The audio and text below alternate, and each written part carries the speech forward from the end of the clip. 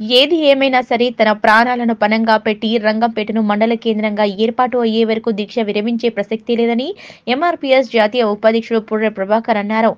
కొల్చార మండలం రంగంపేటలో TS MRPS ఆధ్వర్యంలో పుర్రె ప్రభాకర్ చేపట్టిన ఆమరణ నిరాహార దీక్ష రెండవ రోజుకు చేరుకుంది. ఆమరణ నిరాహార దీక్ష చేపడుతున్న పుర్రె- పుర్రె ప్రభాకర్కు స్థానిక ప్రజలతో పాటు యువజన సంఘాలు కుల సంఘాలు వివిధ రాజకీయ పార్టీల నేతలతో పాటు బీజేపీ పార్టీ మండల అధ్యక్షులు పాతూరు దయాకర్ గౌడ్ మద్దతు తెలిపారు.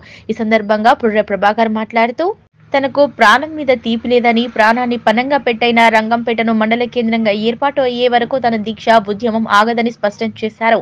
ఎమ్మెల్యే మదన్ రెడ్డి స్పందించి మంత్రి హరీష్ రావుతో పాటు ముఖ్యమంత్రి కేసీఆర్ దృష్టికి సమస్యను తీసుకెళ్ళి రంగంపేటను మండల కేంద్రంగా ఏర్పాటు అయ్యేలా ప్రకటన చేయాలని డిమాండ్ చేశారు. అనంతరం బీజేపీ మండల అధ్యక్షులు పాతుదు దయాకర్ గౌడ్ మాట్లాడుతూ ఈ ప్రాంత ప్రజల చిరకాల స్వప్నం కోసం ఎంఆర్పీఎస్ నేత దీక్ష చేపట్టడం అభినందనీయమన్నారు.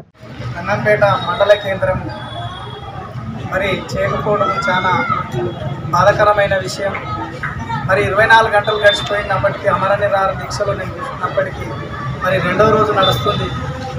నేను ప్రాణ త్యాగానికైనా నా ప్రాణాల మీద ఏం తీపి లేదు. నా భార్య పిల్లల మీద కూడా ఎలాంటి తీపి లేదు.